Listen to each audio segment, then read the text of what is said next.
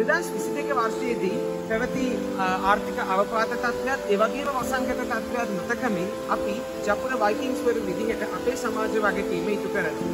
ඒ වගේම ඒ නැවතත් ඉදිරියට ගෙන යමින් අපි 2023 වර්ෂයේදී මෙලෙසින් දකින්න වසිරි සමනලගිරි ව්‍යාපෘතිය ආරම්භ කිරීමට මෙතකින් ආරම්භ කිරීමට කටයුතු කරනවා.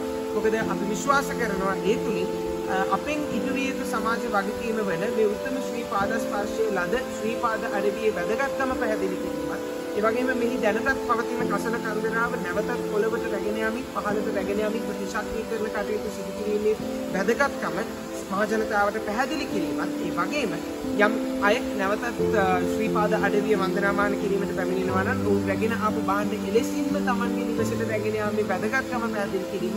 එන අරමුණු ත්‍රිත්වය ඉටු කර ගැනීම අරමුණින් අපි මෙලෙසින් මේ ව්‍යාපෘති ආරම්භ කරනවා. ඉතින් සුමන සමන්දදියන්ගේ ආශිර්වාදයක් ඇතුව මෙලෙසින් ආරම්භ කරන්න යන්නේ රකිමු අසිරි සමනල ගිරි ව්‍යාපෘති.